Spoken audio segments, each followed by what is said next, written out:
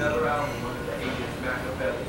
Music insiders were running wild trying to rearrange other artists' readings to appear to wipe out retail inner chart movement.